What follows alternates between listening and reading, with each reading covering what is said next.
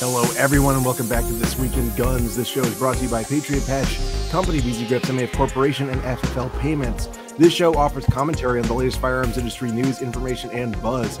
I'm your host, Matthew Larosiere, and I'm joined by who could it be now but a rep? It's me. I'm coming to you live from the mean streets of Battlefield Duties hit map Rust. Yeah, that's uh DE Rust, right? Yeah. D- that's a that's a really good one. How are you doing today? I'm doing okay. It's been a, a little bit of a long day and then a little bit of a while since we did an episode. So there's a bunch of stories and some good things have happened and some less than severely less than good things have happened. So yeah, no, that that is a hundred percent true. And so without further ado, let's get straight into one of those severely less good things. So to start with, let's talk about the super safety fiasco. Uh, and to understand this, we got to kind of take a step back and talk about well, what is the super safety? So there's a character called Hoffman, Hoffman Tactical in the 3D printing space, and he's a really nice guy. Um, makes all of his own clothes, doesn't wear shoes, you know, like a totally normal human being. Uh, he's come out with some pretty cool stuff, and he did, you know, after the whole FRT thing happened, he came out with his own design, which it's a safety. He calls the super safety and it's basically you know imagine a normal ar safety that's got a hook coming off of it and effectively when the bolt carrier comes forward it boops your finger uh you know basically boops your finger off the trigger and uh so i think it's it's important for us to like go in a straight line here right this guy hoffman comes out with this thing called a super safety describe it how you will it works kind of like an frt or right in in so many words it turns the safety on and off as the bolt is going, winds up working kind of like an FRT.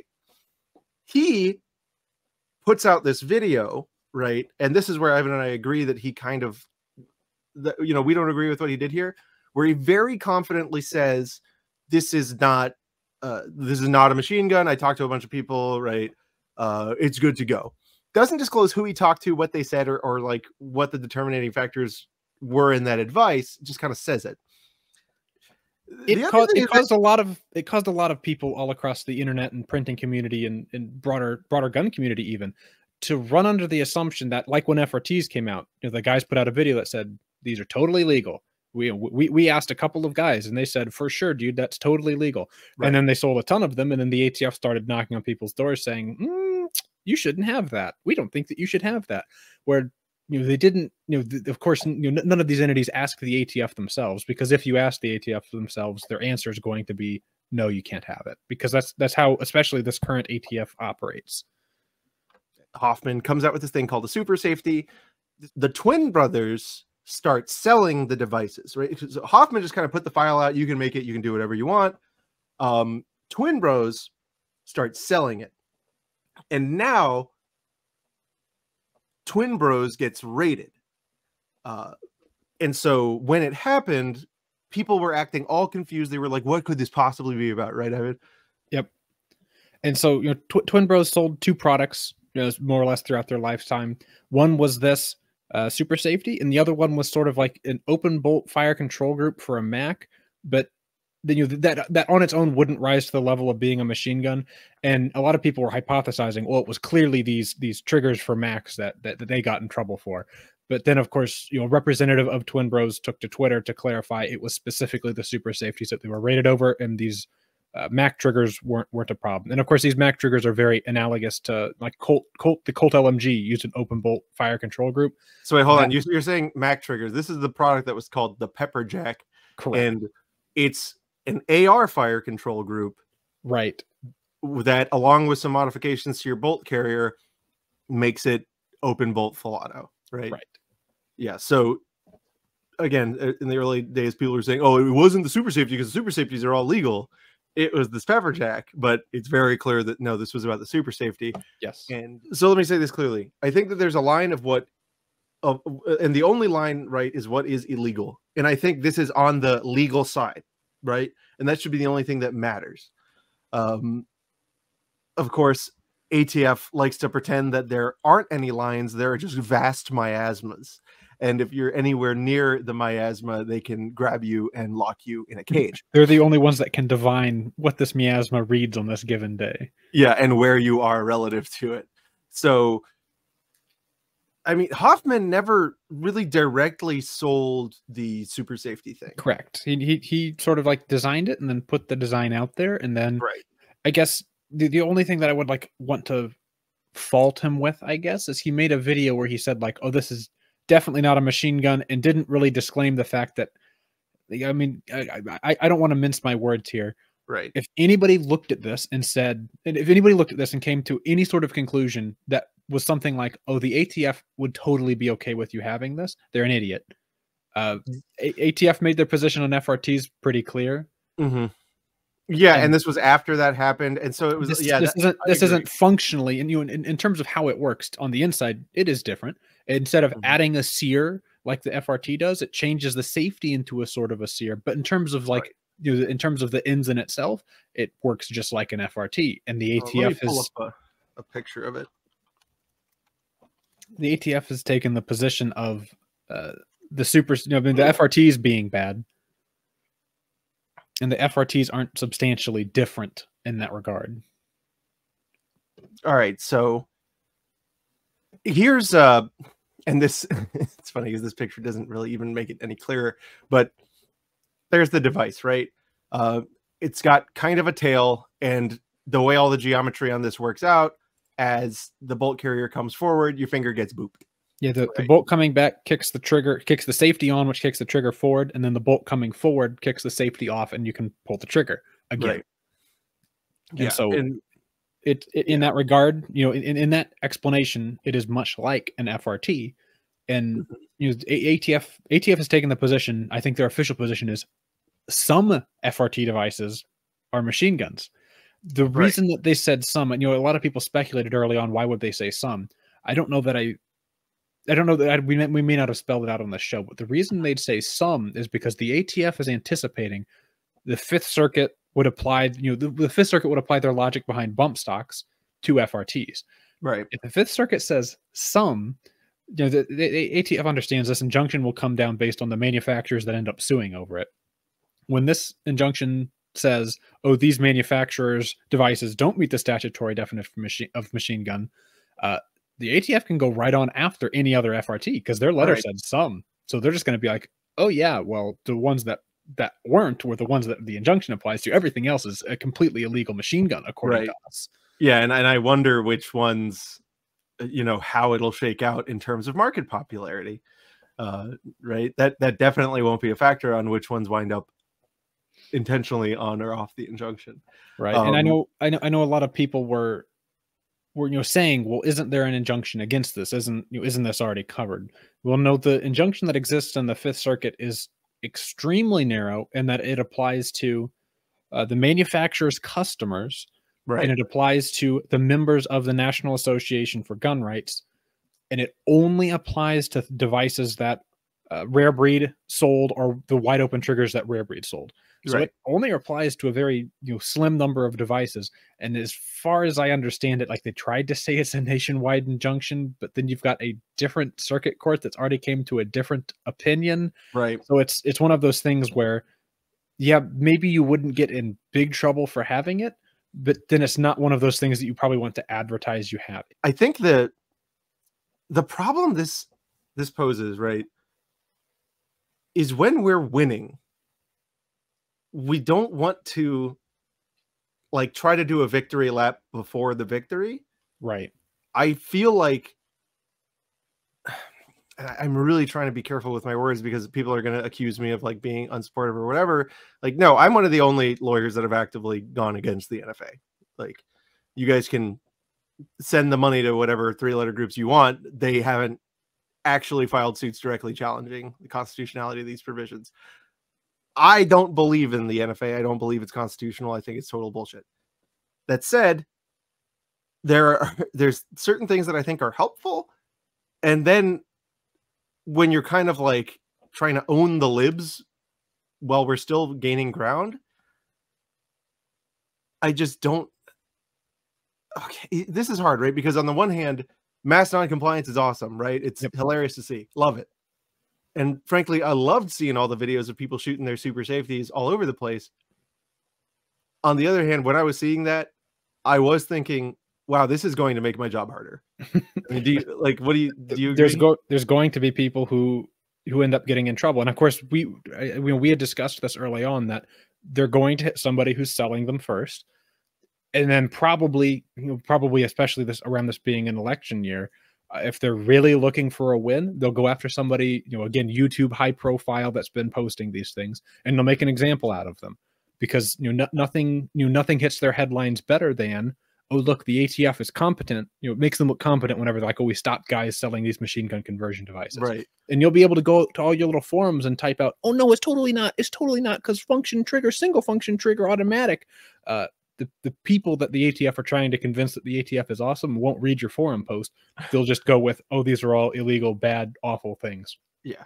You saw even a little bit of this. You know, we- we've got a separate story on this, but the the bump stock oral arguments, FRTs were brought up at least three times mm-hmm. because you know, they were talking about the fact that like well if you if you guys chop down bump stocks then devices that are better than bump stocks would be legal too by this reasoning and you know again i'm not saying that the frt thing shouldn't have happened but it you know it, makes you know it, ma- it makes the justice's job harder if they're going to try and say bump stocks are okay because Right. now they realize like you know th- th- they're- going to have to be conscious of the fact that they're they're like really breaking an egg to make this omelet they're breaking a lot of eggs to make this omelet Right.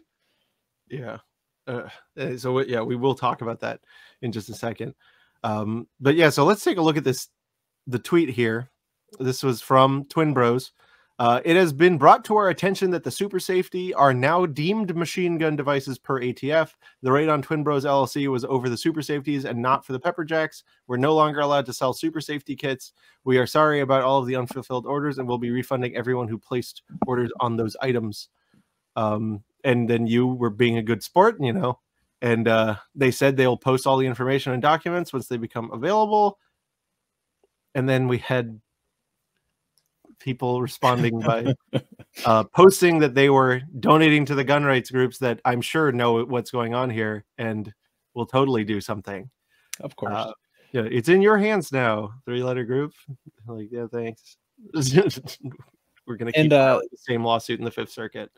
this is Um, the sort of situation that we had we had talked about where it it's it's like the worst sort of feeling whenever you like you and I are both the kind of person where we enjoy we enjoy being proven right but this is really a situation where we didn't want to be proven I right. wanted to be wrong. right Because right I the first thing I said was, "This is not a machine gun," but I wouldn't fuck with it, right? like just because I know what, what they're doing right now. Um, one of our friends, here, and I gotta pull this up. One of our friends was a lot less upset about being proven right. so we can see uh, RK Spookware, who got like really dumped on. Um, uh, right, like here's the Hoffman post: "The super safety's been released. YouTube premiere at noon today." To which RK Spookware replied, "Interesting design, but I'm not going to be donating to anyone's legally fees." to which Hoffman replied, "You'll be donating to mine," which was weird. Like, why did Not- he say that? I'm not sure what he's saying there but okay Yeah, and then now RK, will I though? With- oh man, no, I'm I'm looking for the the yeah the RK was right jar. right you know he he did a big lap yeah who could have seen this coming um but here's the other interesting thing that i want to touch on and, and i do I, I feel horrible for twin bros because like look i've had direct involvement with a lot of law enforcement in this arena it's fucking horrible like you you guys unless you've been through it trust me you have no idea just how fucking terrible this is like it is truly at all times you feel that your life could just be ripped away from you at any moment. So let's not dunk on them too hard, right? This is a terrible, terrible thing. And why are they going through it? Well, because they were trying to help people have fun in a creative interpretation of the law, right? Like that's not a reason to lock somebody in a cage or take away all of someone's shit, right? Um, all that said, there's a couple other sticking points that are really weird here and it was that Hoffman just kind of gave everything away, right? Like he he is it's very clear that Hoffman is desperate to become a, you know, traditional gun influencer and you know what? I, I hope he gets that, right? Like, God bless him. But the twin bros, they kind of just appeared out of nowhere, right? And Yep. like claimed to have a patent pending on the freely posted Hoffman design. Of course, that was a that was a silly thing because if if depending on how deep into FRT lore you are, you you'll know that the technology actually dates back a long way before FRTs were a thing, Right. and it has to do with this guy Thomas Allen Graves who like patented. Thr- Like he got three different patents for the same way a trigger would work, and then sold one of them to the guys who eventually sold them to the guys who eventually became rare breed ta- you know, rare breed Right. triggers. And then Thomas Allen Graves sued rare breed triggers, lost. Uh, m- maybe he didn't sue them; he just threatened them, and then breed Something triggers. weird happened, and where there's another like sub company that, that was called Graves LLC or something Right, like that, that. that was the that was this Thomas Allen Graves Yeah. guy, but it, essentially it's but like it's not clear whether that was directly him or not. Uh, right. uh, It, it, yeah, It's a little bit of a legal nightmare, but this right. Thomas Allen Graves guy came after Twin Brothers for patent violation, despite the fact that uh, Yeah. you don't have to be a patent attorney to realize that none of his three patents concerning this describes Right. what the super safety does. right. But uh, he, you know, he he came after Twin Bros, and Twin Bros like freaked out and went straight to like like like Google Google on the internet for a patent Right. lawyer. How do I save this? And the patent lawyer was like, you should file for a provisional patent for your own thing. And they were like, okay, we'll do that. And it's like, That's uh, retarded. that's not how that works. it's like a hundred thousand percent not how that works. And so they they ended up they ended up dropping that once they got Yeah. better advice. But Right. But also it- they uh, realized. Go ahead. I guess just the point is that just how disjointed and retarded everything Yes. as it was happening. And so like no one has any idea what's going on with Hoffman at that point, at this point. Right. And so like here's the interesting thing. Um what's the liability for Hoffman? Uh it's actually not as clear cut as you might think. There is, you know, uh, aside like I don't want to get into the ITAR thing, right? Because I don't I ultimately don't think that that'll ever carry the day when it comes to an individual. No. Uh you know, I just I don't think that anyone with a breathing lawyer will be able to get locked up on an ITAR charge for something like this. That said, the the one thing that really is a sticker here is in his little vi- video where he's out in the field, he just just straight up says that he like he's like, yeah, you can print these in plastic and they last like you know 20 rounds or whatever. So I had this one metal 3D printed in China. Mm. like the and that's where I want to get to kind of the uh, I think the the underlying lesson here that we can learn from a lot of what's been going on in the gun space is that if you are going to flirt with the law, I'm not going to say break the law because I st- I don't think anyone here was breaking the law. But it becomes a lot easier to survive flirting with the law if you don't post it on YouTube. and if if you like minimize the the o- the the, the, overview of three letter agencies involved with your law flirting Yeah. because importing a th- importing a a device for your airsoft gun is presumptively legal. If it's for an actual gun it is not legal any longer Yeah. especially if this device is something that i don't know a different three letter agency may consider to be or to not to be a machine gun conversion device. Yeah which fits under the three letter law. Uh, so it's it's kind of like it's it's it, it reminds me of the the meme you made where it was uh you know gun tubers when they haven't posted an illegally imported machine guns in five minutes. Uh, i and the, the reason i'm saying this is because i love you guys. Stop. Stop it. Stop posting. Live freely and don't post. That i mean shit post right? Or at the very least be be fully informed before you make that decision. We we would Right. appreciate if you would be fully informed in and, and I, like i saw some people saying like oh Hoff, you know hoffman owns this. Hoffman's going to get all these people arrested. I don't think that's true. I think he could have done a better job of conveying to people the potential risks that they may be taking on. But this this isn't his fault. Uh, Right. the, the, the blame squarely li- li- lays in the hands of the schizophrenic overlords to which we are subject. Yeah yeah the high functioning alcoholic 30 somethings that that sit at the cores of all these agencies. Uh it's terrifying but but yeah like guys you can't you can't depend on a company. You can't depend on an influencer to tell you what is and is not legal.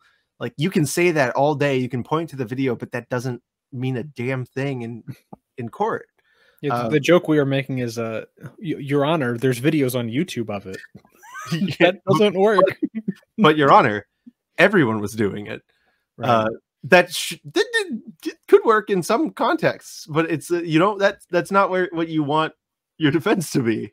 Uh so it's a cautionary tale i think. Um thank god no one's been arrested yet.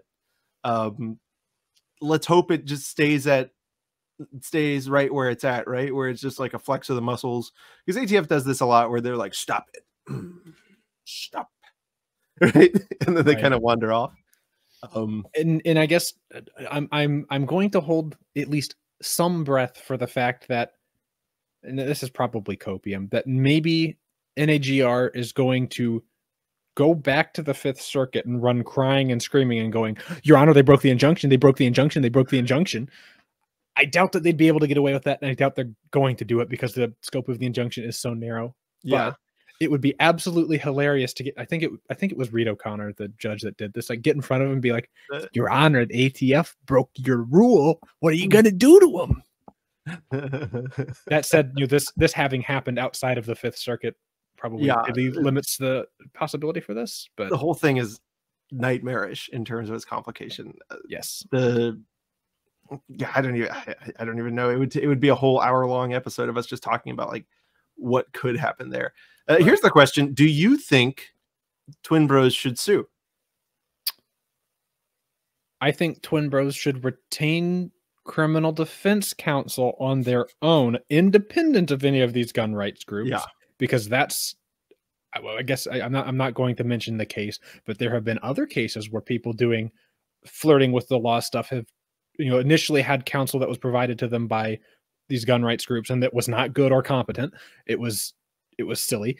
Uh, so they should get their own criminal defense counsel that is good and has their actual best interests at But heart. that- Then, then, then, and only after they have competent criminal defense should they then turn to the gun rights groups and I think count you know, you know bring their own civil lawsuit where they say, Yeah. "Hey, yo, this is not." a you have to make sure the burners are off Right.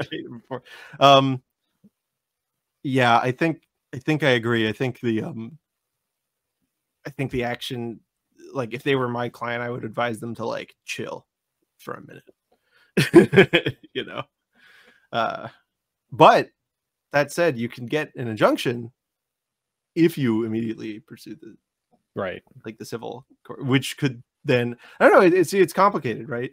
Uh, because like being aggressive could get you peace of mind earlier, but then if you be aggressive and you don't get the injunction, then you have a lot less peace of mind.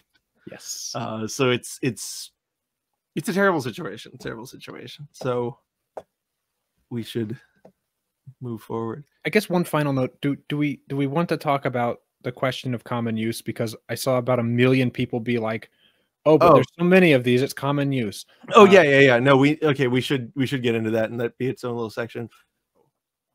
Let's talk about the common use question. This is a thing that pisses me off in how often I see people like chanting common use one as if it were a test it's not and two as if it were some saving grace it's not um let me give you the end at the beginning you do not want common use to be the standard Yes. you At least want not the sole and exclusive one. Yes. You it might be like an enhancer right? Yes. but if we get again skipping to the end people are saying oh well they've sold so many so they must be in common use. Well if we're going to latch to that it would be common lawful use for lawful purposes. Uh and that's not Sure. right? it's not a tango that you want to dance. Um, but on top of that, I don't think they've moved that many because we still don't know what the number is. I think that we know there's been a couple thousand, maybe, Right. Like if, if we had to guess, just just given the, the Right. relative popularity we've seen on the internet. Right. Uh, like, so let's say this is the avenue we want to take. We've got the flag post in Caetano, which was a quarter million, right? Right. Well, again, we got the flag post from Caetano, which was a quarter million, but that was also just a concurrence in Caetano, Yes. and it Yeah. wasn't even proposed as a test in the concurrence. It was Exactly. just like a It was like a look. But let's say we do it the way you guys think it is and say that is our flagpole. It's 250,000. not there. yeah, not. Um, and then, uh, like, you have something, anything. If it's new, you are incentivizing the ATF to attack it as aggressively and violently as possible so that the common use analysis happens when the product is brand new. Like, that's the result of pursuing that line. Uh, I think we should all just like forget about that language and just never bring it up again.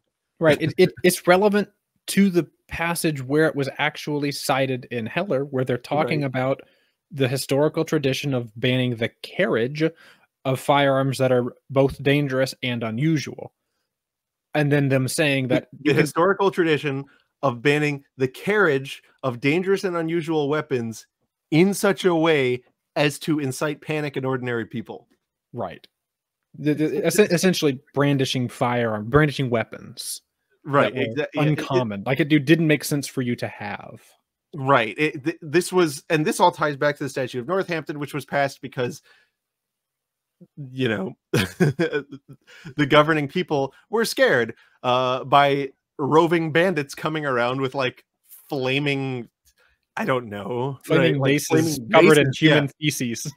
just swinging them around, going woo, right? And this was done on purpose to make people not be there anymore. So that again, that it- it made sense for that because Heller was reasoning backwards for like government, you're saying we can do it, but whereas there, you know, we're not talking about the carriage of a weapon in Heller, we're talking about something that is so common that it is overwhelmingly chosen by Americans. Well, like that's where that comes from is the explanation of why the statute of Northampton doesn't apply. Right, and they, they explained that you know, the statute of Northampton could be dispositively disproven. Right, you could like Right. you could clearly say well, it's not valid here because if it's in common use, it's not unusual. So Right. we can we can throw that analog out. It doesn't apply. Yeah, without even engaging with the rest of it. And and it made perfect sense there. It doesn't continue to make sense as we try to apply it going forward. Right. Uh, yeah. So it it it, it when you first hear the terms common lawful use, you think to yourself, like I can understand the inclination to want that, right? Because you Right. think to yourself, that means it's all my guns, everything I have, right? yeah, all my guns are super common. right. But then the question is, what about uh you know, there's weird laws respecting caseless ammunition. Do we want uh right the the question of whether you can have a caseless rifle to be all related like if they made a caseless rifle ban right now should the question be how many people still have daisy vls Right. Right? And this this question really begs, you know, it, it really begs at the, the the complaint of Heller, which is the oh, it's hopelessly circular. Hmm. and Heller is hopelessly circular if you're if if if you just like take common use completely out of context and, Right. and you read it as oh that the only way a gun is protected is if it's in common use and if it's in common use it's wholly protected right It's if not- it's in common use for lawful purposes like self-defense and then if Right. you're illinois you it's in common use it's common use only for self-defense and that means literally killing people with it. If, you're not, if you're not killing like one bandit a night with your ar-15 you do not need it. Yeah and so that's that's why only 22s are protected according to illinois because they are consistently being used to kill people. But uh but but yeah so that's that that we just wanted to make sure to nail on that right because people have the inclination of bringing it up and it's it kind of is a, a thing that feels good to say um stop saying it at least at least say it less or if you want to sound really smart say it in the context to which it's appropriate Right. So, like, you know, if, if anti gunners are insisting that this can be banned because it's dangerous and unusual, then you could point to the well, there's actually a lot of them. It's not unusual. Right. But I think I think the Supreme Court is going to need to step in and clarify what the dangerous means and what right. the Because unusual as, means. as opposed to what? Right. Like it has to be it for that word to not be surplusage, it has to be dangerous as opposed to the ordinary weapon. Because weapons are dangerous. They wouldn't be weapons if they it's kind of kind of why they made them actually. right yeah. They're good for that. But anyway speaking of dangerous and unusual guys you will be both if you go to vzgrips.com and use our promotional code this week 15 to amp up your lethality. You need to turn up the pressure. You need to get your gun killier with a vz grips vz320 texture option available for your kimber k6 uh, I recently picked up another gun that I found out had VZ grips. It was a 1911 gun. Uh, Let's go on and and not question question. What, oh, oh wait, there's a Oh. Cobra. We recently uh, got a uh, a snake gun. Would the Cobra grips fit on it? I don't think so. Oh, it's worthless for me. What about okay? All revolver get grips. We need the code uh, guys getting the get getting the order and then in the comments say that they need to make Draco grips and then Anaconda grips. Yeah, cool. The yeah, because my Anaconda don't have hyena brown, and I need that. I don't know, they come out with a lot of stuff. But anyway, guys, that's vzgrips.com. You get 15% off if you use my code. That's the this week 15, T H I S W E E K 1 5. Uh, check if your Anaconda does. All right. Next up, we are talking about we have a winner for state number 29 in terms of the constitutional carry. Constitutional. Yum, yum, yum, yum. No, it's a permitless carry, uh, and that is South Carolina. Woohoo! Constitutional carry bill heads to governor's desk following South Carolina lawmakers' approval.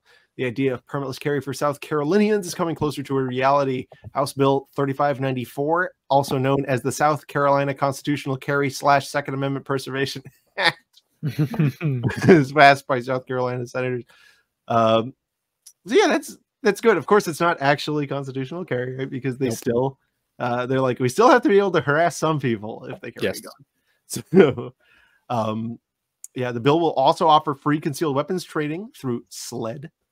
However, even with the changes, Democratic senators continue to raise questions. Senator Margie Matthews, I'm concerned about those police officers that will not be able to properly stop and inquire about why a person has a gun laid out on the seat of the car. Get fucked, pig. There's your answer. Matthews believes this discussion will continue, but with a different tone. We're going to find ourselves in a situation where somebody is going to get killed and it's going to try to strike real close to home. The wrong person is going to get killed. And then we're going to come to find ourselves coming back in here and saying, we need to protect law enforcement. right. Yeah, maybe someone will do that. Because before this bill, it was illegal to shoot cops, and then after this bill, it's illegal to shoot cops, and that clearly means there's going to be a market increase in the shooting of cops. No, that's right, because it's the Second Amendment Preservation Act. wait, wait, did this bill do something really cool? I understand. Uh, it also added new graduated penalties for weapons violations. Uh, you also, and they added they added a mandatory reporting. You have ten days to report if your weapons was stolen. Originally, it was thirty, so that's great. And, oh, by the way, it also prohibits guns at hospitals, polling places, government buildings, and schools. So it's a very constitutional carry bill. Of course, it's very constitutional carry.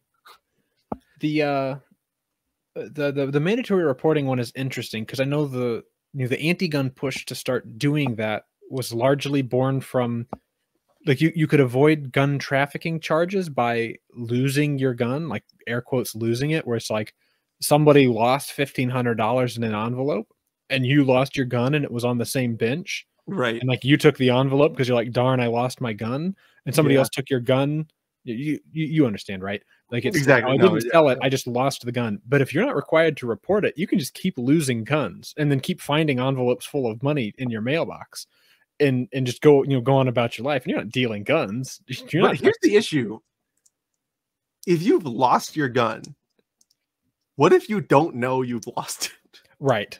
Right? and, and like, so th- th- there's certainly like some requirement for is it scienter? Is is the is Yeah. the terms like you like like like a you you have to know that you've actually broken the law and so a lot of it'll depend on I- people snitching on themselves. uh, you know, I think this law necessarily turns into you know the people who were like repeatedly losing guns and finding sacks of, of, of money Yeah. aren't going to stop doing that. Like this isn't really going to stop them from doing that. Meanwhile, eventually this is going to end up you know hurting somebody who didn't mean any harm. Right. This is this is you know, it's a lot like a safe storage laws Yeah. where it it's it's only going to let prosecutors come after you know like let's say a parent on the worst day of their life where their kid Right. gets into a gun and does something horrible with it. Yeah, like the kid got into the gun, ran off for weeks, right, and then did a a, a notable uh way that and uh I then don't, I don't I don't see how punishing the parent helps anyone. that's going to be the result, right? Because we know that the the traditional applicant, right, would which would be the person who loses the gun and finds the money. They're going to still, uh, they're not going to have the wherewithal to say, "I lost. I I don't know when I lost it, but I I just found out because you told me." Right. Right. Uh, they're going to be like, "Oh, I haven't seen that gun in months," and that's that's how they're going to get them. Uh, because they know exactly where the gun went, they know when it went, and that's when they're going to say they haven't seen it, right? Right. because they they believe that there's magic and that they can trace the gun and the gun told them who used it right Right. my owner shot this guy on the fourth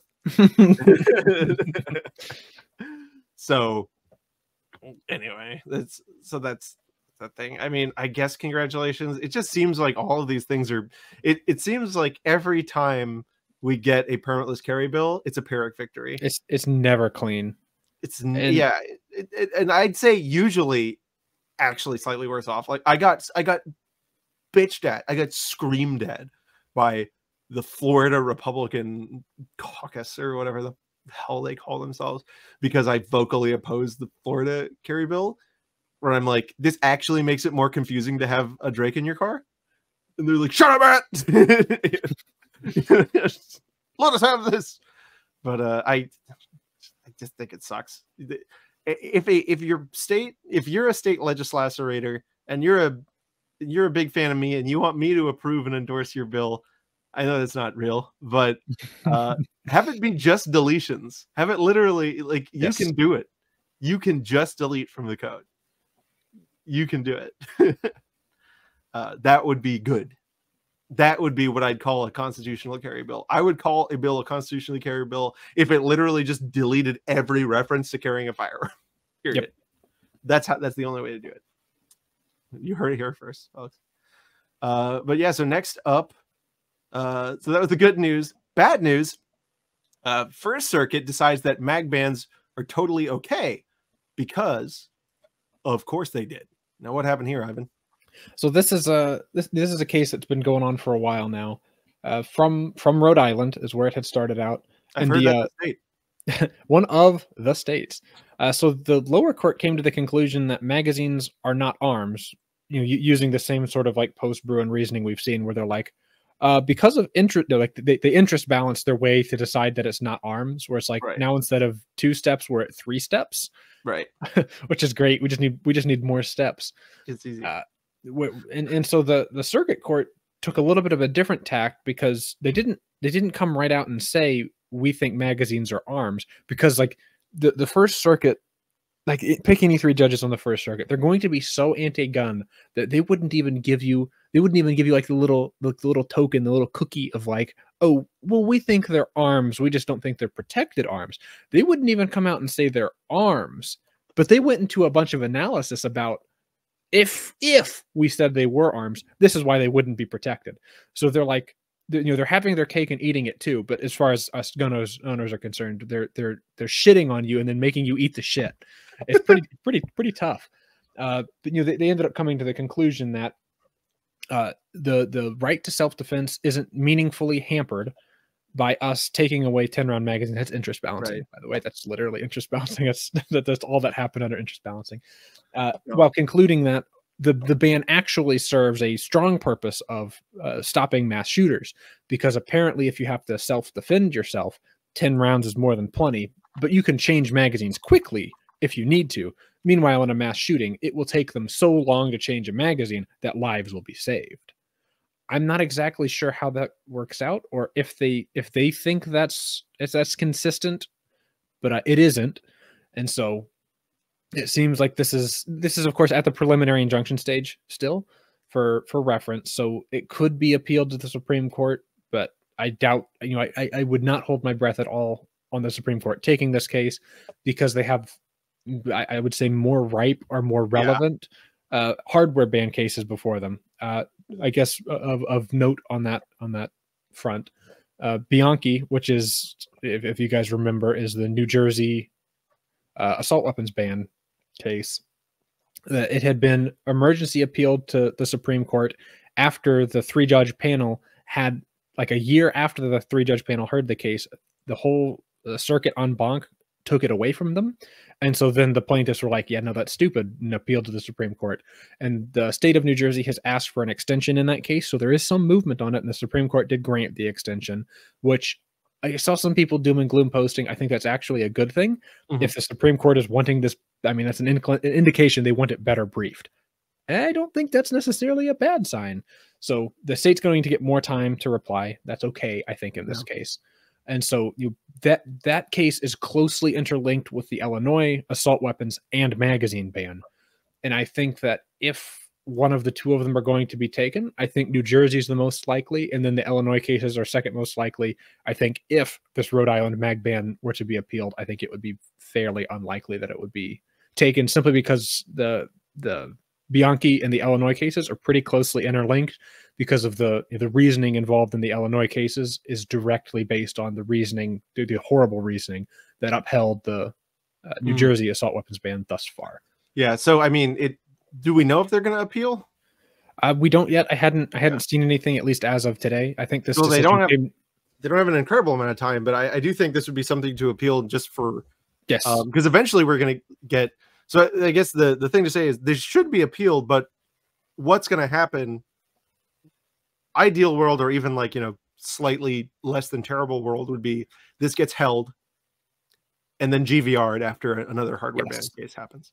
Uh, GVR being grant vacate review and and what that what that means is basically because the supreme court is discretionary something only happens to your case if the court touches it right the supreme court has to touch it otherwise the the circuit court's ruling stays the law and so in situations like this they grant certiorari vacate the, just basically they're like oh granted zoop deleted remand go back do it again and and it's pretty clear what the court's saying when it does that. Yes. But, uh, but yeah, this would be a very bad case, I think, to get on all fours with, just because it's not, it's not something that has principles or tests to properly suss out.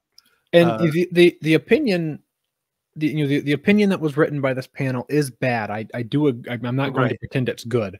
However, it was it was almost like it was an intentionally intentionally written so that it would be really hard to appeal because it's not it's not like a dog like the the, the, the you know the contrasted with the Illinois opinion. The Illinois opinion is like dog shit, pants on head, sh- shits on fire, really really bad.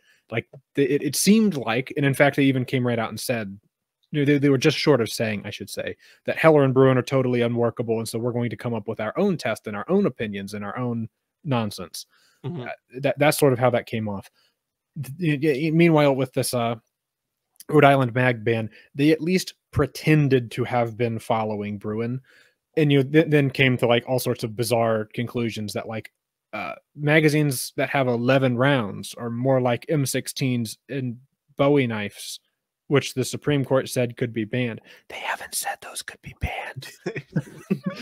they're just making that up, or you know, they're, they're, doing the, the the the I guess it's it's the new in vogue thing for anti-gun judges to do, where they're like, "Oh, the Supreme Court said M16s could be banned in Heller," despite the fact that the Supreme Court did not say that M16s could be banned in Heller. Right? Yeah. If we, but hold on, but if the Supreme Court had said that M16 is going to be banned in Heller, then the AR-15 can be banned because it's an M16.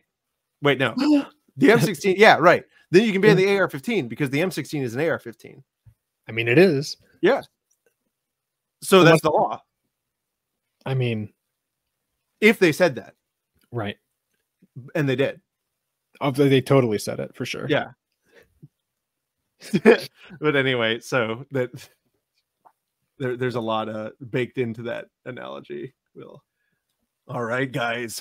Now let's talk about some good news, and that is that FFL Payment Solutions exists. Guys, FFL Payment is a credit card processing company that is run by FFLs for FFLs. I promise you that they're going to save you a lot of money. And if you get in contact with them and tell them that Fuddbuster sent you, you're going to get a free terminal. Guys, that's a big dollar value and it's on it's on me. So get get hooked up with FFL Payment Solutions. They're never going to deny your business just because you deal in fun stuff. And uh, and again, you tell them Fuddbusters sent you, you get your terminal for free. Next up, let's talk about what we were alluding to earlier, and that's the the bump stock case. We saw oral argument on, and that was like the day after we posted the last. Yep. This week in guns, which was so frustrating, and uh, it was almost as frustrating as the oral arguments themselves. It was. I, I think in the end, the you know the arguments for our side were good. I think they could have been better. There was there was maybe you know there was some concessions made that I think were unforced. Mm-hmm. But there was a there was a lot of arguments from the anti-gun, you know, the, the government side that I think a lot of the justices saw through, or in the alternative, asked the correct questions about, where they were they were really trying to pull at the thread of you know, the way the government and the anti-gun justices and the anti-gun lawyers want this case to be decided is more along what they what they argue the intent of the law is which is regulating guns with high rates of fire. Right. And they they kept wanting to like poke some hole in where the function of the trigger is to make a gun shoot faster or slower, as opposed to the function of the trigger is talking about the trigger's role in the firing mechanism, which right. I think is the most it's the most consistently applicable way to read that section of the statute.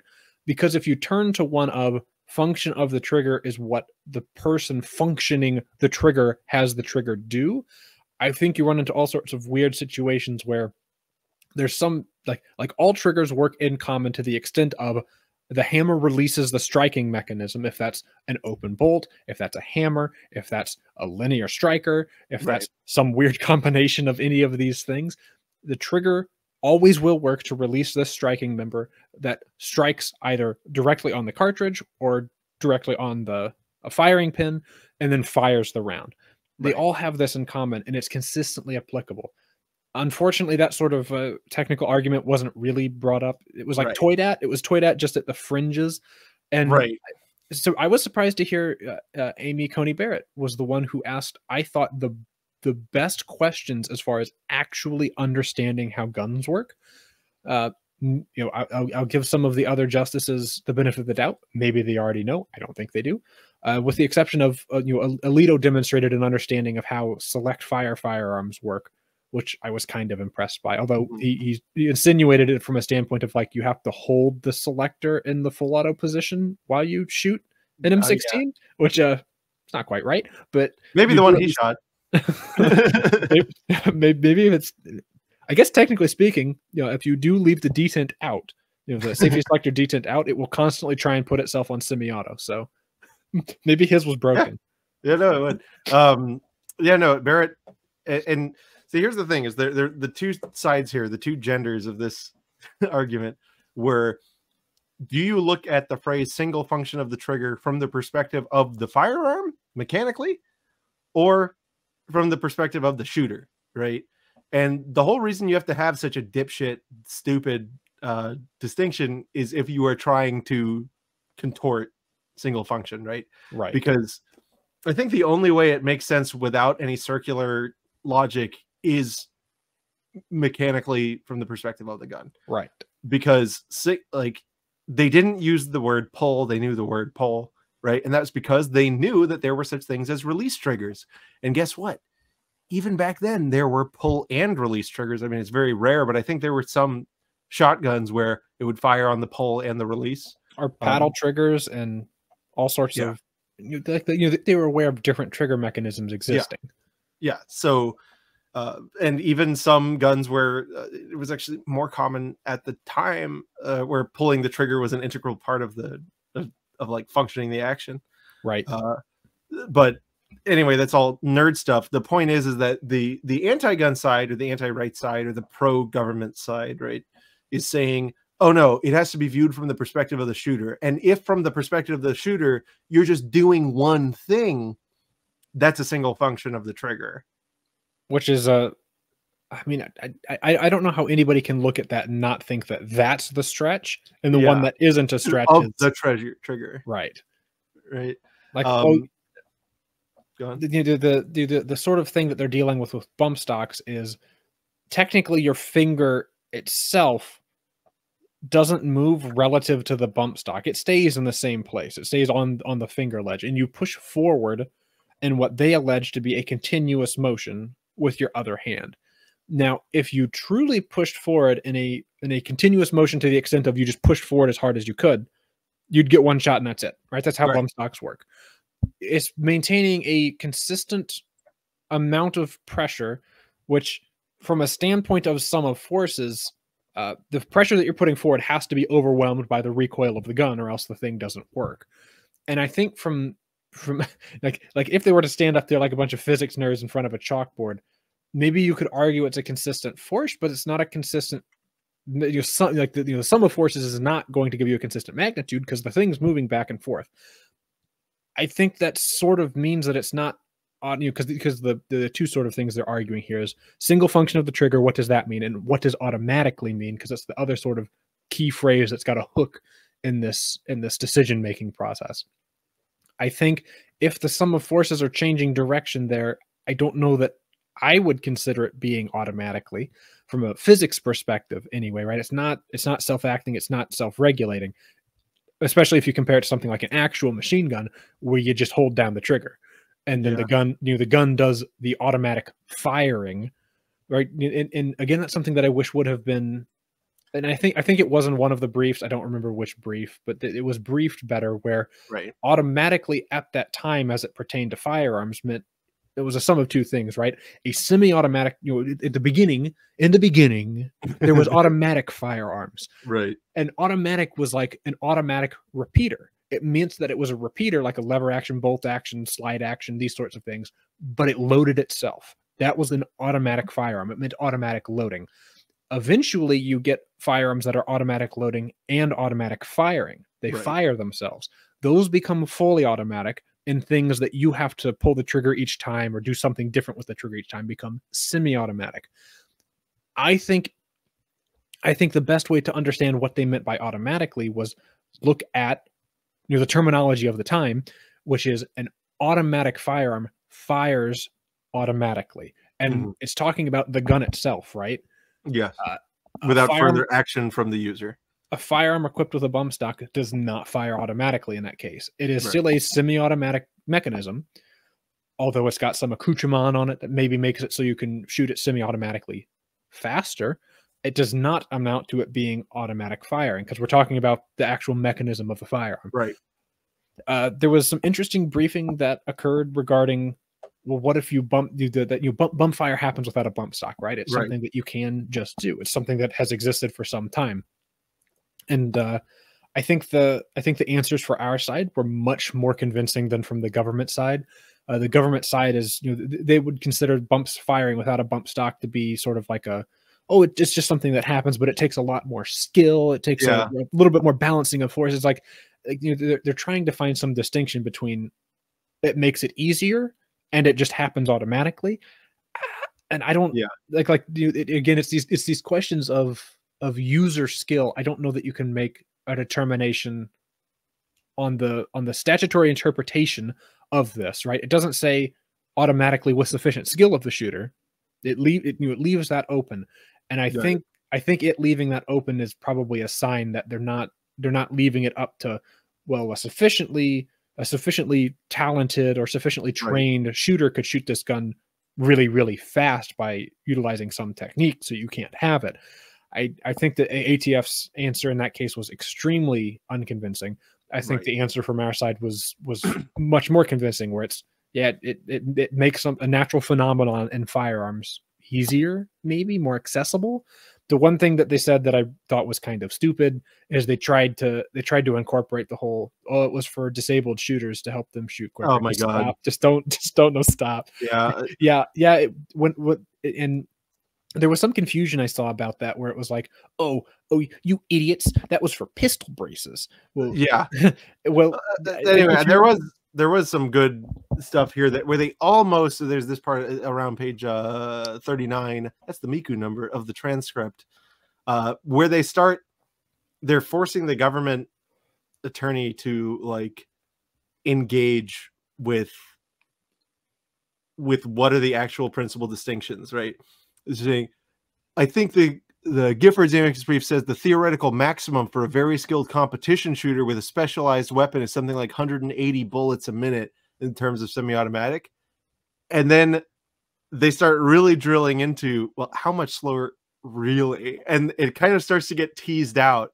And they almost go there, but I don't think any of them really had the sufficient know-how um, to ask the questions to completely undermine the fact that the amount of the amount of rounds you can discharge in a minute you know with reloads and everything between a fully automatic and a semi-automatic is not enough for there to be a principal distinction. Right. I mean uh, because because you can find examples of machine guns that are actual machine guns single function of the trigger automatically blah blah blah actual machine guns that shoot slower than even mediocre barely trained shooters can shoot semi-automatic firearms like you know, i'm sure you and my eyes mind both goes to the Chauchat yes it shoots slow enough as a machine gun that you could totally outrun it with a AR or a Glock or an AK or almost anything uh Right. it, it- the, the like it the Chauchat shoots at like 200 rounds a minute it's And that's a machine gun. really slow. Yeah, that's a machine gun. I paid taxes on it. Uh, the grease gun, there is no way that you could run a grease gun, right? And if it was a shoot rounds in a minute competition, that I wouldn't be able to run circles around you with a you know any normal semi-automatic gun. Um, but the here's the thing I don't understand. They keep talking about bullets a minute, bullets a minute, bullets a minute, right? and they they're saying, "Oh, a skilled competition shooter, blah blah blah." blah. They can only really shoot 180 bullets a minute. Eh, In, in terms of shooting cadence, that's like, duh, duh, duh, duh, right? Yeah. And then they say, "Oh, but the the you know the M16 can go up to 950." So all of a sudden, uh, what that means is on the machine gun side, you're allowed to use its cyclic rate. Yep. Right. Which it cannot do for a whole minute unless you have like a neat belt system. Um, and I think, I think a full minute of straight sustained fire would melt. Uh, most Yeah. AR-15s Yeah. would would not. They'd get sad yeah, because like you know, you'd five or six hundred rounds is the point that a gas tube usually usually bursts. Of course, there's you know higher temp gas tubes or better barrel profiles or all sorts of things that can fix that, but that's not right, normal. but the gas tube acts as a fuse, right? Right. So why, why can we Im, uh, impute the cyclic rate of the weapon on one side, and then take into account all of these other factors? Reloads are aiming because 180 rounds per minute competition shooter, blah blah. That's that's Yeah. a load of horse hockey because you can you can be barely good, barely versed at shooting guns and pull the trigger. In fact, uh, I I can remember going shooting with my uh I guess, I guess then he like he, he was young enough a cousin that he wasn't holding the guns on his own. He was just like sort of aiming them while while his dad would hold the gun up, and he Mhm. just sort of like get behind the scope and just pull the trigger as fast as he could. Like the young ma- Master Braden. yes, like like the young master, like like the young master Braden. He'd be he'd be tearing through mags in a as a a Marlin tube fed twenty two, but not mags, I guess in that case. But yeah, he, would be dumping he'd be dumping ten rounds, you know, lickety split, way faster than three rounds per second. right. Yeah, no, so like, I, I just think that's so interesting, and I actually started to stop and think about it, and I mean, if I had two ARs, right, I really think that. And one was like this raced out competition gun, and the other was a bog standard M16. I feel like if I had all the mags in the world and the special gas tube that isn't a fuse, um, and you gave me a minute, I feel like there would be at most. What do you think over the course of a whole minute? What thirty percent difference in terms of round Assuming counter? both of them are stuck with 30 round mags, probably a 30 30 percent is probably pretty pretty fair. But like if you stick the M16 with its period correct 20 rounders, Yeah. I think I think the story starts to change pretty dramatically. Where it, I mean, you know, the, the presence or absence of select fire, even even even if it's just volume of fire that you're looking at, Right. It, it, it doesn't doesn't- make that there's no principle. difference, there's no principle. There's no right? Even if it was Guys, they double, spit lead. That's what they do. Even with a what? even if it was double, right? If it was if you shot fifty percent more rounds with the with the machine gun, hundred percent more rounds with the Yeah. machine gun, fifty percent with the with the non. Uh, I don't I don't know that that makes a principal distinction Yeah, because is that substantially less lethal? it's still a ton of rounds. it's still incredibly lethal. So I I think that it's stupid, and the fact that they sat there on all fours engaging with rounds a minute so long without realizing that right, they, they came so close to actually being like, wait, wait, wait, right, but then they they went off track. Um, but yeah, so that was the the the two main camps here are is is it single function of the trigger? Is it from the perspective of the trigger or the perspective of the shooter? I think in I think it has to be from the perspective of the trigger. it Um, has to be that there's you you you you'll- you'll end up with a lot of, and I, I guess this is you know this is really the danger with. And I'm not going to pretend that across the board the conservative justices are more principled when it comes to this stuff, but at least as it comes to to guns, the questions they were asking made it clear that they were going to be principled on this distinction. The anti-gun judges made it very clear that they wanted this whole thing to turn on what they thought somebody else's intent behind passing the law at the time might have been, which is just it's it's nonsensical. It's uh oh it shoots so many rounds at it, it, it, in the time. No, no, you can't have it. And and I've seen some analysis that you know the the the big danger with that sort of thing is it legitimizes the uh it's sort of a newer anti-gunner position where it's any device that increases the rate of fire of a semi-automatic firearm and they don't define that at all. It's just any device any part that Mhm. increases its rate of fire can be banned. And they pretend that like oh we're banning these like wannabe machine gun conversion devices but then that would also ban binary triggers it would ban just lighter triggers maybe like a heavier recoil spring because that will increase the cyclic rate some. So it, it bans all sorts of then yeah, things things that we would call unintended but right. anti gunners are full well aware of what they're like, doing. no, is it guns? it's intended. So it's uh, I, I, I, you know, so I guess as far as predictions go, I my, my initial prediction is probably going to be wrong, uh, because my initial prediction was that the Supreme Court would decide this along the lines of the rule of lenity. They'd just Yeah. straight up say it's ambiguous, tie goes to the to the plaintiff. Uh, in this case, though, uh, the the rule of lenity I don't think was mentioned a single time. Which Uh, which people were theory crafting on, right? They were trying to read the tea leaves and be like, oh no, they were doing that on purpose. and, and it- I think I think that was my, my my tea leaf reading essentially came down to if I was on the Supreme Court, right, they're they're supposed to be the ones who answer these sorts of questions. Like they are the, I mean, they're the Supreme Court, right? They're the one, they're they're the, they're the last stop on this on this wild train ride. So if they're unable to answer the question, it's a, it's a problem, and they shouldn't go into these sort of debates trying to see if they can't answer it. That's that's Mhm. bad, right? They shouldn't be engaging in a discussion of why can't we answer this. That's that's that's not good. Yeah, no, it means you're down the wrong track. So why And don't you step back? And so I Um, imagine I imagine maybe the justice is conferred, or maybe they're just all smart enough to know. We don't we don't engage in discussions of we can't answer this because we're too dumb to figure it out. They should they should at least give it an honest try. And if it comes Right. down to across the nine justices, there's three that like one opinion, three that like another, and three that like another. I think it's at that point that they engage in a hey guys, maybe this is ambiguous. maybe we can't figure it out. And then rule of lenity should carry the day. Right. No, 100%. So what I here's my prediction, which again is that and a quarter would have bought you a gun ball, a gumball years ago. Um I think it'll be colored by the rule of lenity, but not Yes. actually, right? So I think they won't say they're deciding it on lenity grounds. I think they'll say that there is not sufficient hook in the statute, right? Right. So it's like we had all of this argument over from whose perspective, like blah blah blah. blah. I think that goes to show that this isn't a line that you get to draw and that Congress should do it, right? Uh, and so that can leave it in terms of APA, right, and and rulemaking authority, without cutting directly into the rule of lenity, which I don't know why they don't like to decide things on in lenity terms. Um, it- possibly because lenity it doesn't really foreclose them from doing the exact same thing again. Right. So, so I don't know. That's that's my thought.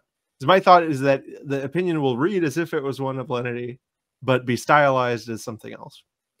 I want to be a massive optimist, and my my, my optimist take is there's going to be enough judges convinced that we're going to get at least one of the two sticking points in this case, either single function of the trigger or automatically. Mm. A victory on one or either of those would be huge. I think I think single function of the trigger would be the bigger one Yeah, because Yeah. uh, I don't think automatically teaches us anything we don't or lets us do. lets us do. That's such a, such a bleak way to look at this. I don't Yeah. think it lets us do anything that we can't already do. right. Meanwhile, I think that single function of the trigger, because that that's what underlies FRTs or our binary super safeties. I Yeah. mean, so single function of the trigger is what really what underlies ATF trying to say that FRTs are also no good. Right. Because you know the, the that that that if they if, the same perspective argument. if the Supreme Court comes back and says single function of the trigger is from the perspective of the shooter and not the trigger, so bump stocks fail on that. But we don't think bump stocks are automatic because you're pushing your hand forward and then the it's changing direction. Right. Bump stocks would then be okay. Ah, Yeah. I don't know about FRTs, guys. I think I think FRTs would still be up in the air at at best. Right. In reality, it's probably them them quietly saying, "Yeah, no, uh, you can't have those. At least not for now." Right. Yeah. I hate. I hate this though. I hate. Why can't we just get rid of it? Yeah, But it would- anyway, it would be nice if the questions could just be answered instead of it being this. It's it's, it's the what what is it? multi generational game. bread and circus is what they call it, or it's like Yeah. uh, we show up for a big show and it's it's horrible. Yeah. Honk, It's all honk. performative. Yeah. Anyway, speaking of performative, the Undetectable Firearms Act has been extended to 2031, Yes. buried in an approps appropriation bill. As you, it's 1,050 pages, and we can control F. Womp womp. Section 22F2 of the Undetectable Firearms Act of 1988 is amended by striking 35 years and inserting March 8th, 2031. Yeah, so the, the Undetectable Firearms Act is a is a good one. Just to you know parrot the usual talking points.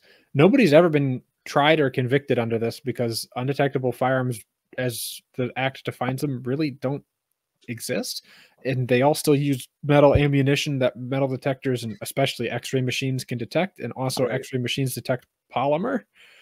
Uh, so it's it's kind of a silly thing in the first place. Uh, this most recent time was probably the best shot at not renewing it we've ever really had. Uh, but a- as usual, uh, our our good old trusty uh, GOP is fantastic at snatching defeat from the jaws of victory, and so uh, uh, the, the, the you know the anti-gunners wanted a permanent reauthorization of it. Uh, the GOP wanted to get rid of it. Uh, they compromised with what is it like seven years, three years, or something that we've got it sticking around longer. It's a, it's it's it's a mess. I, I do know there was there was there, there was like a, a number of hours for which it wasn't actually in effect anymore, Mhm. which is uh which is kind of funny. There was there was a number number of hours that you could have made your own undetectable firearm and been fine. But of course, there's no there's no grandfathering provision in it. So Right. now you have to get rid of it. Womp womp.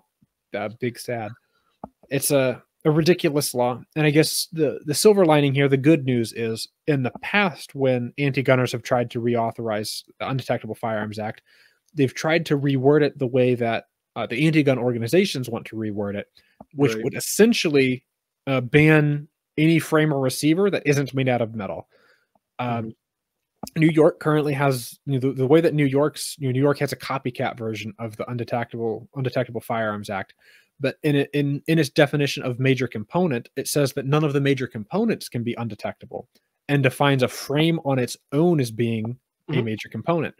Now, you know, for the for the knowledgeable viewers out there, you'll realize that this means that Glock frames on their own, like if you strip Yeah. a Glock down to its frame, technically you've made an undetectable firearm because a Glock frame does not have 3.7 ounces of stainless steel in it. In fact, a stripped Glock frame barely weighs 3.7 ounces. it's got very, very little metal in it at all. right. And so, uh, certainly, the, the you know the Undetectable Firearms Act, as the anti-gunners want to implement it, would would certainly ban you from your know 3D printing or making from an 80% any sort of polymer frame, but in actuality would ban like all popular handguns from the past 20 years, Yeah. 30, 40 years. uh, it would, Yeah. would would go about banning a, a ton of stuff. Yeah, no, it, it it's interesting because I I wonder if even some of the alloy frame guns could meet the security exemplar. Uh, I don't know if they As- could. As I mean, it has to be. It has to have the metal detectability of 3.7 ounces of stainless steel. And So if it- stainless is pretty dense. of course, you know, metal detectability doesn't care about density. though. It's about it's about magnetic permeability. I think is how you actually end up measuring that. It's it's like a because it's a a stupid scientific thing to actually go about measuring. It's why they defined detectable with a security exemplar. So like, yeah.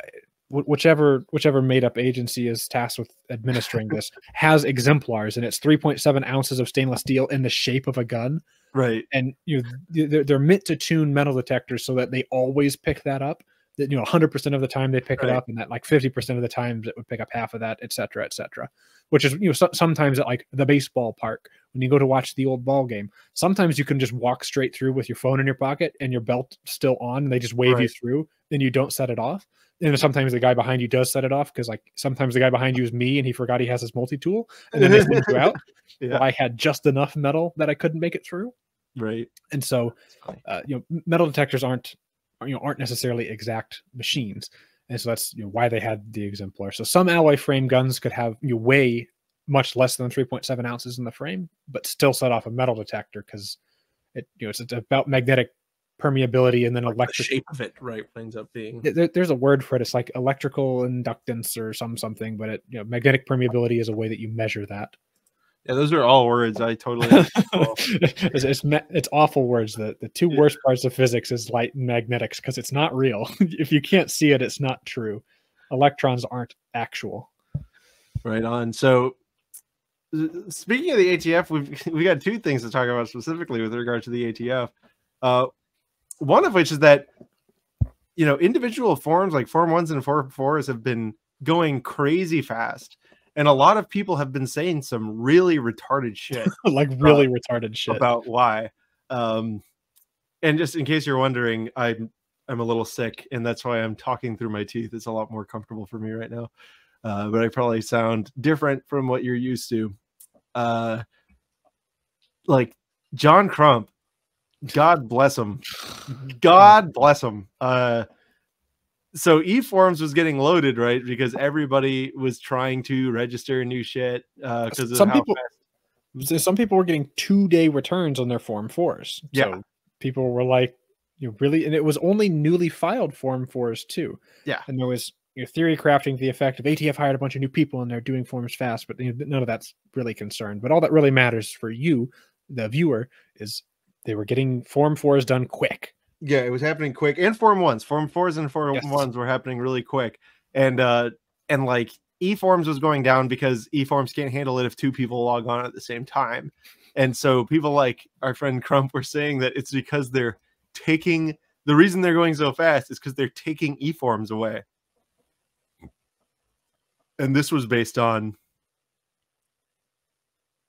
I believe it came to him in a dream Yes. Uh, and then there was some other just absurd theory crafting.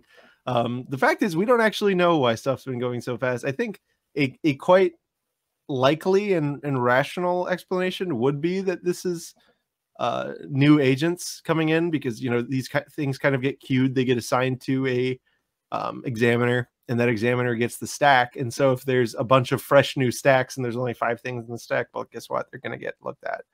Um, or it could be that the new examiners weren't taught the company policy of doing literally anything except processing 30, 30 minutes of work a day max. Yeah, max.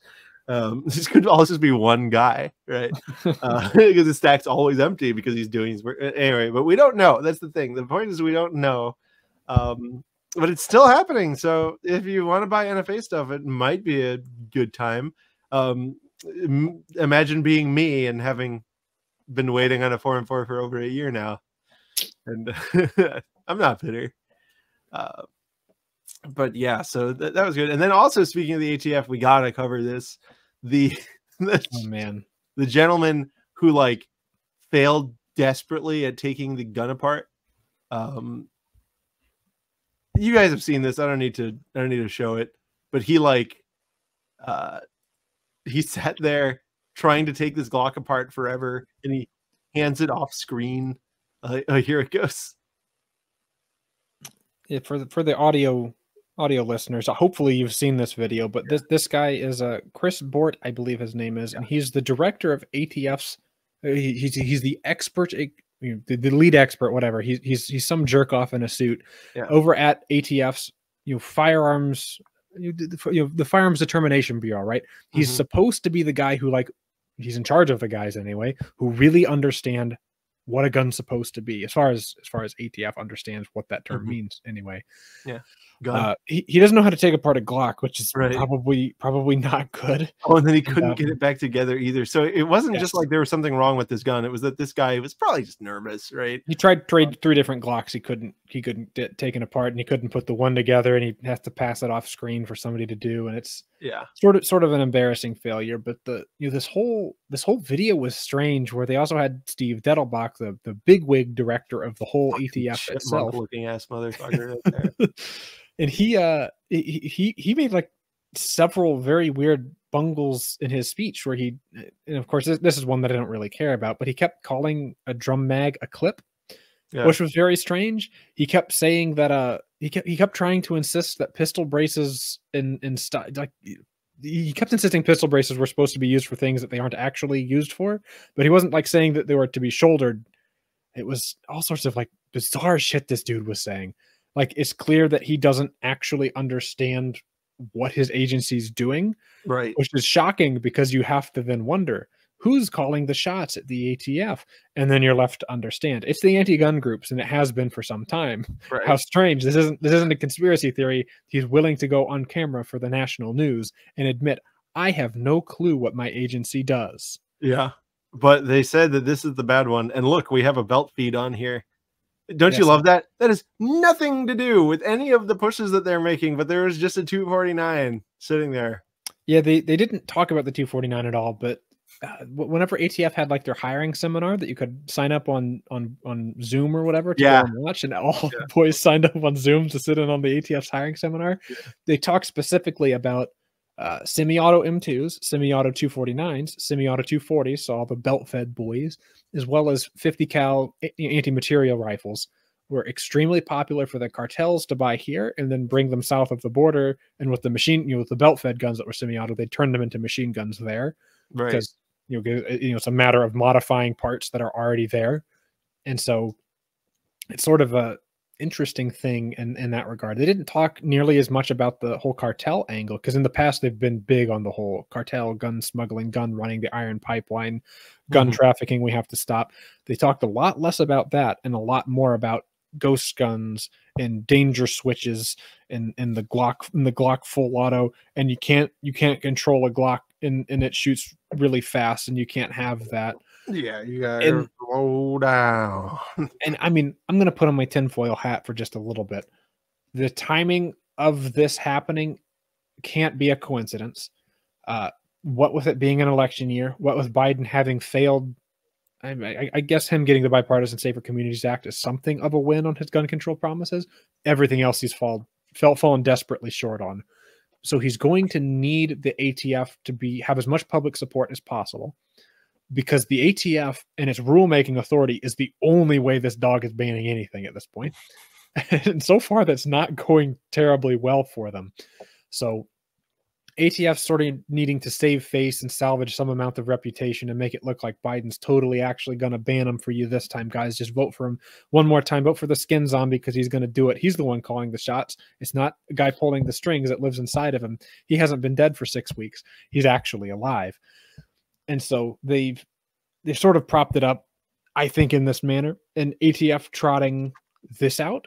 Uh, they, they, they've done now, now done uh, very very recently done another one of these sort of puff pieces where they're talking about you know the national news about how bad switches are and how they're right. the only ones who can save us from this scourge.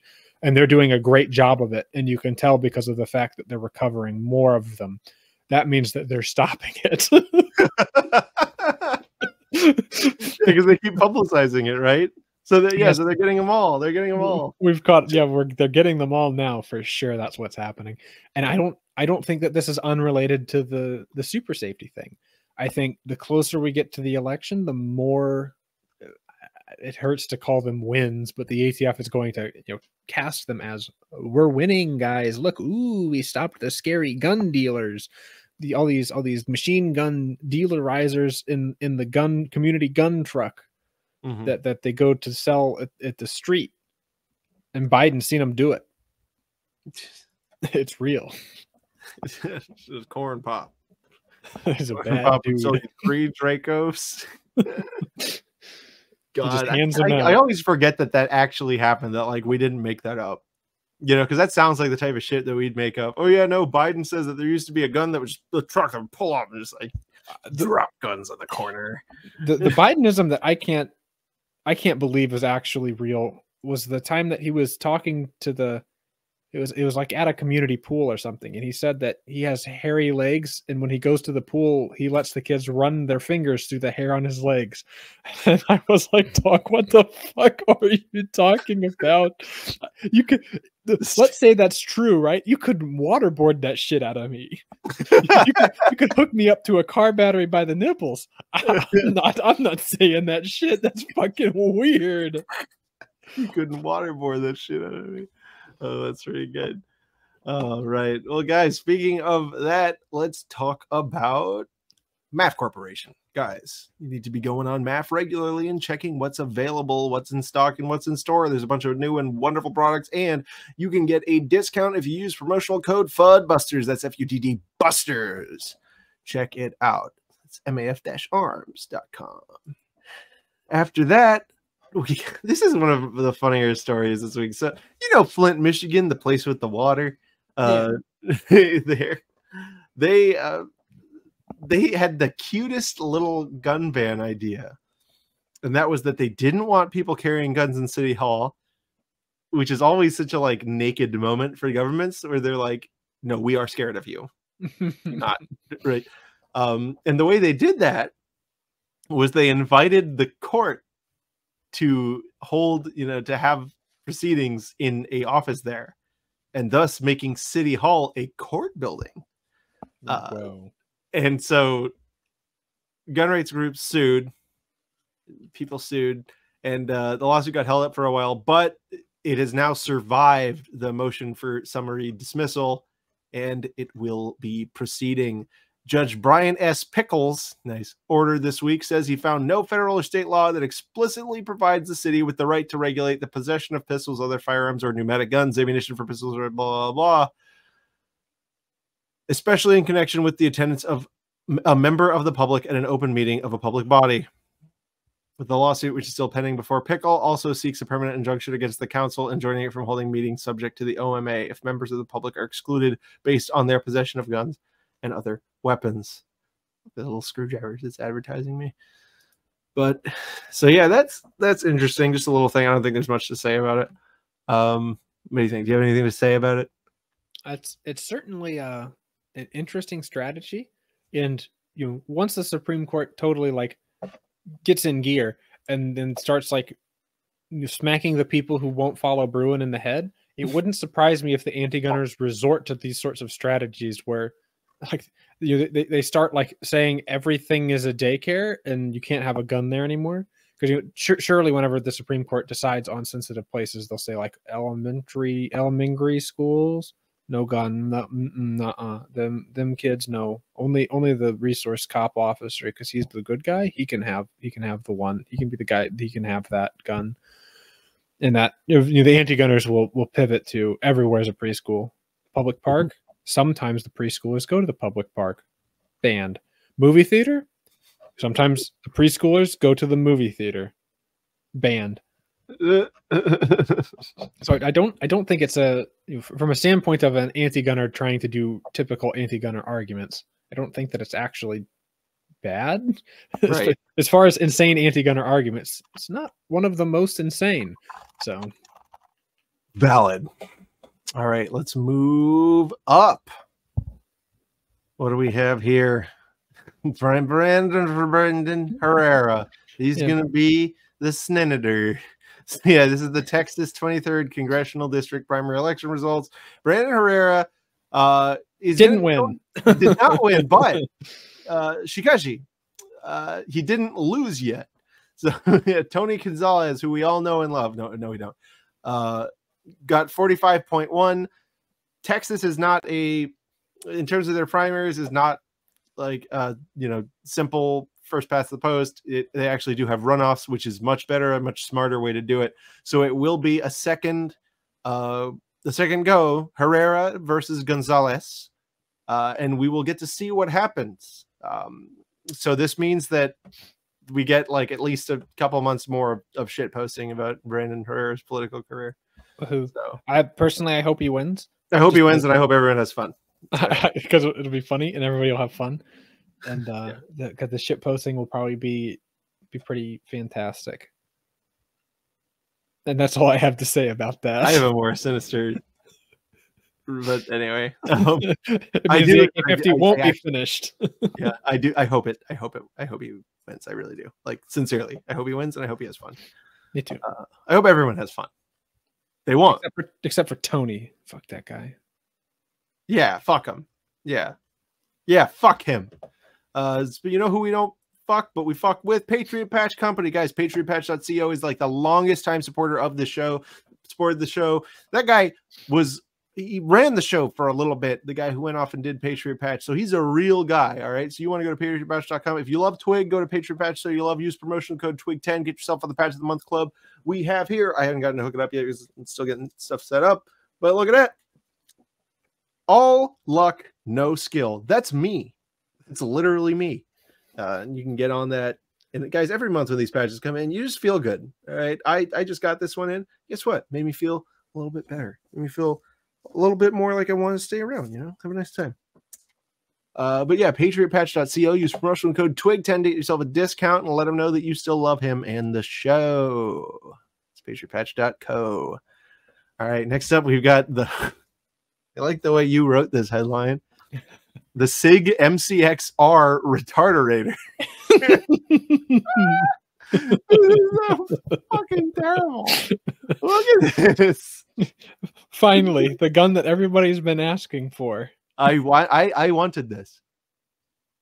Uh, essentially, for for the for the audio listeners, Yeah. you're welcome. Uh, I guess close your ears if you're sensitive to horrible images. Uh, Sig made, like, if you're familiar with the FightLite uh, SCR, the sort of like traditional rifle stocked AR derivative nonsense. right. They've made that, but for the MCX. Yeah. It's it's it's My wrist look hurts at. looking at this. It's horrible. And see, the thing is, with a with a bufferless system, you can get away with a lot more. Like you're constrained to a lot less, and yet they somehow made it worse than the fight light one. And they keep trying to say, "Oh, this is ranch rifle. Ranch. This is the ranch rifle concept." Like, once upon a time, I don't think the ranch rifle concept was bad. I think this is like such a bastardization of the ranch rifle concept, where you've taken a gun that, like, I, I don't know that the MCX would ever be a, a good fulfillment of the ranch rifle Right. concept, but you've made it worse. This is worse. Nothing about this is nothing about this is good or better. Look, they got a video. The guy's opening his little fence. He's look, he's got it in the truck. This is so oh, relatable. he- he's got he's the got a John Deere that he's not allowed to fix. Yeah, he's not allowed to fix that one. It's John He's Deere. gonna kill the tractor. He's got to put it down. Oh, no, he's putting the gun in the tractor. Yeah, that's what you do with He's putting his gloves on to drive the tractor. now he got his special horse pants. It's a tractor. It's a tractor with a cabin, right? A tractor with a cabin that I'm sure is heated and cooled. And so he puts Yeah. the gloves on once he gets in the tractor because you can tell he's a tough guy who works with his hands. yeah, no, and he's always got his suppressed MCX Ranch Edition with the wrist breaker stock. This he is one of those ads. horses. This is this is a horrible ad. I have to ask if Sig has. Oh, wait, hold on. What is what's the what's the conflict here? So it's setting up for some type of conflict. There- Oh, there's the the coyote. Yeah, there's a coyote, the animal kind, not the you know border kind. Yeah, so it's it's every different type of self insert in a country music song is all going to shoot the same coyote. That's what that's what's happening here. Like there's a bunch of different perspectives, and they're all gonna they're all converging on this one coyote. And I think the end of it is going to be they all accidentally tag each other. No, okay, they all survived. they all killed the coyote. oh, that's horrible. So yeah, the MCX regulator redefining the ranch rifle. Uh, I'm sorry, but do you get what I'm saying? Does your wrist hurt looking at that? Yeah, that really, really does not look comfortable. Comfortable at all.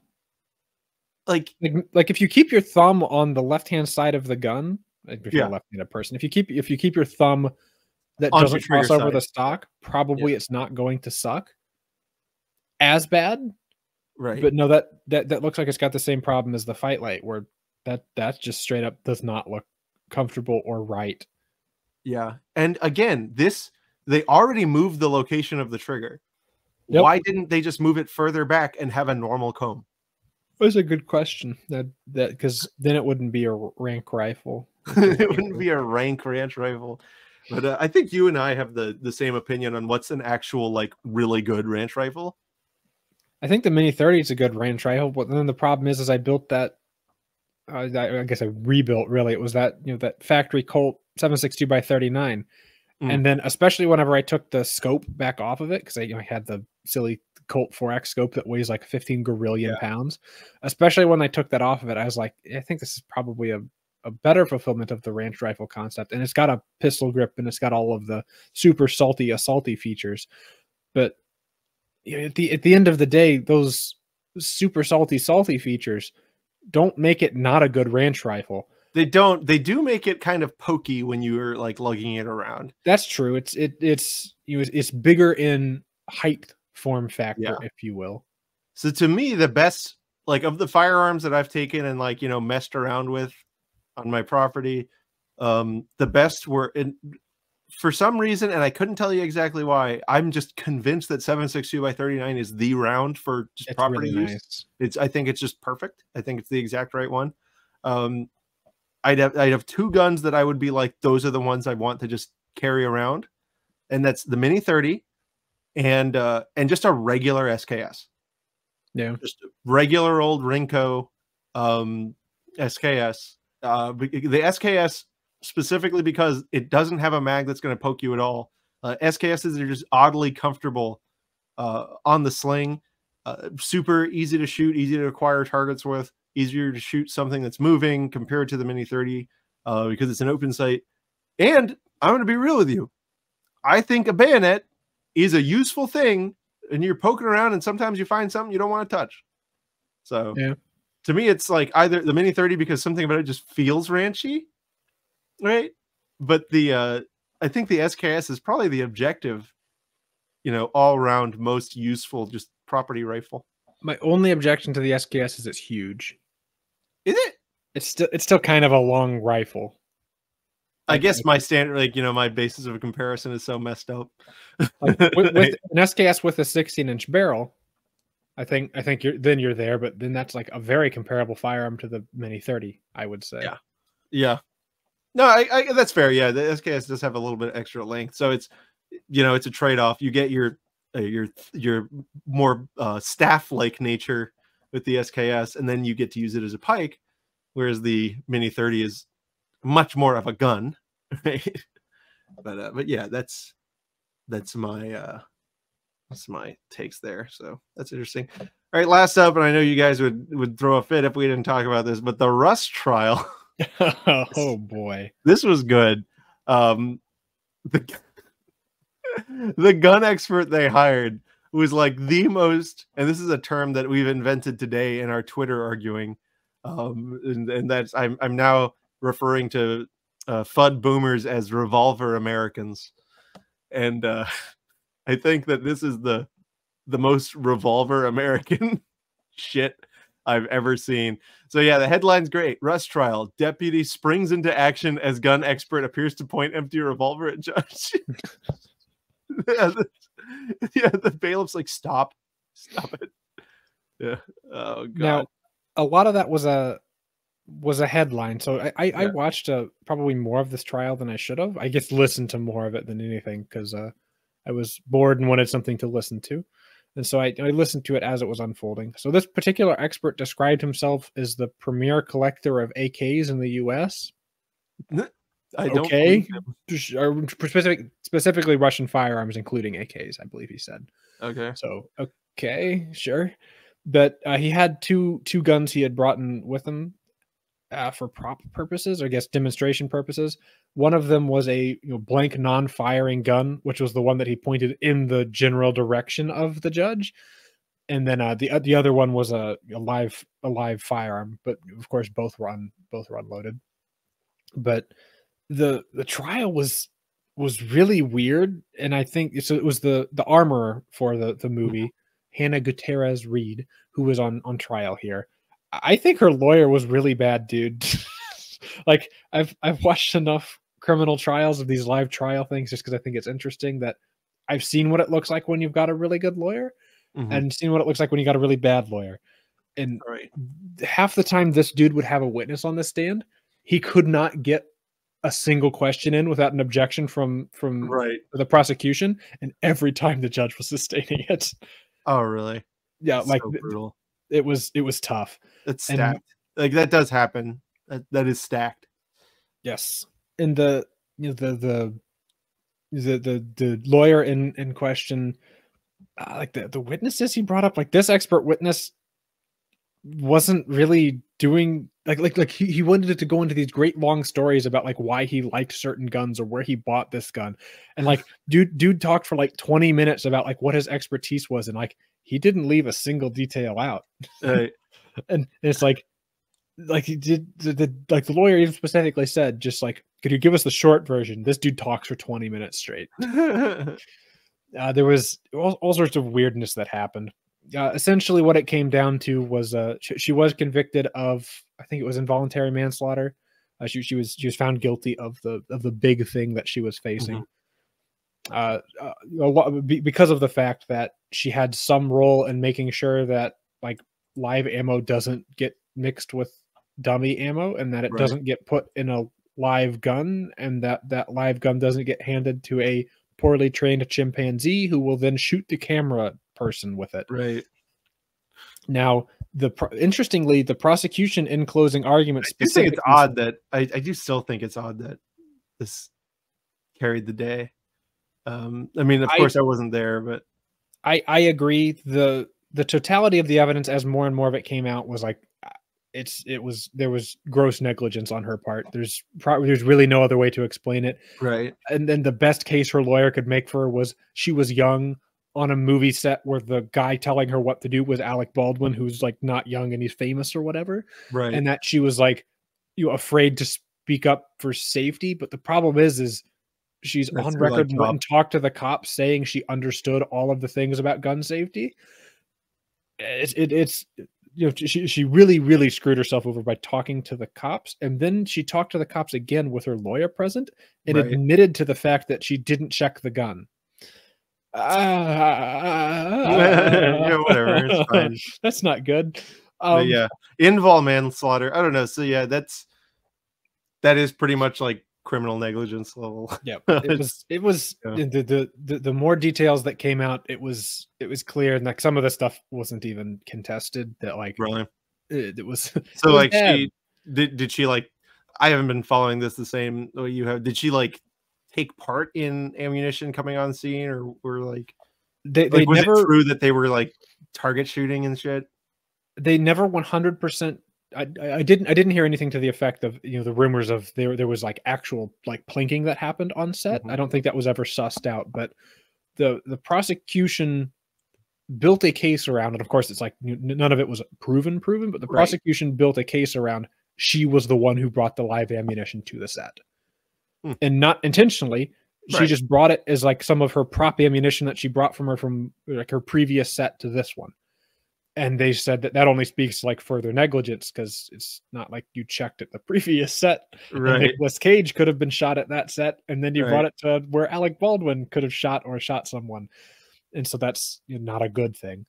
And you know, they, they they did manage to trace you know by color of primer and construction of the bullet, they were able to say this is what all the live rounds looked like. And in closing arguments, it was it was pretty not good looking. Were they're able to say that like here's a live here's a live round on this day, here's the same live round on this day, here's the same live round on this day. The live round of ammunition was put back into the box of spare ammo it was Mhm. put back onto an ammo belt. I feel like you should have been checking for a hole or the rattly ball every time you picked up a bullet, but Did we find out if with- the other duds had holes or rattle balls? yes, all, all of all of the you know, all of the prop ammo was was you know was purchased prop ammo and because Oh. of course like putting together crappy prop ammo isn't something you're supposed to do. So it, mm-hmm. it, it either had a fired primer or had a hole in the round or had a rattly ball inside of it. And they, they even specifically had you know prop masters speak to the fact that like stuff where you just take a fired round and then stick a new bullet in it isn't supposed to be done. It's supposed to have a rattly ball or a hole in it. And that's that's Right. what the like the armorers guild or whatever whatever whatever nonsense it has for it is. There's a Grand Armorers Council. Th- that's what they say is supposed to be done. Film Armorers Guild. and so and so the, the evidence against her was was pretty not great uh and i guess probably the most interesting thing is during closing arguments the prosecution the prosecutor lady specifically said uh you can find her guilty of manslaughter even if she wasn't the only irresponsible actor and she specifically said she wasn't the one who pulled the trigger on the gun somebody else took an irresponsible action for that to happen and their you know their you know their, their trial is coming soon and it was like it, it you know so it turns out this is the this is the prosecutor who is going to be prosecuting Alec Baldwin later on. I think his trial isn't isn't until maybe it's next year. May- Maybe maybe it's like a summer fall time, but it's it's still quite a ways off. But right. uh, she she is the one who because I guess if you guys remember how the stupid stupid drama unfolded, uh, Baldwin was charged and then he was uncharged and then maybe he was going to be charged again and then a grand jury indicted him again and it was this prosecutor lady who got him I guess indicted the second time. And so she's she seems to have a case against him regarding negligent handling as well as the fact that he being the guy on the set you know, he, he, he being a producer of this movie, right? He's the one who hired the incompetent lady, and they had had two prior negligent discharges on set that just went totally unaddressed. Mm. like there's two previous times that like a gun wasn't supposed to be loaded, and I think in both both cases it was blanks. But two previous times a gun wasn't supposed to have ammo in it and had blanks and it went off, and just nothing changed on set. It was just like, oh wow, that was scary. Say, wow. Anyway. wow. All right, next movie. All right. Well, that is that is it for today. It's a nice long episode for you boys. Yeah, That was a big one. But Juicy. yes. So anyway, we've got more Fuddblasters coming for you guys. We just uploaded one on the Brügger and Thomet APC 9. Uh BWC nine. yeah, well, yeah, whatever. Whatever. Yeah, the BWC 9, the foldy one. Oh, Um, shit, and that shit. was our favorite one yet. Uh, not favorite gun. Our favorite, Fa- fa- favorite review of a gun. our favorite review of a gun yet. Our favorite gun so far is the uh, the Phoenix HP 22A. That's the only good one so far.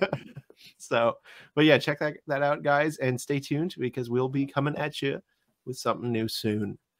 So, as always, we will see you next time. bye bye.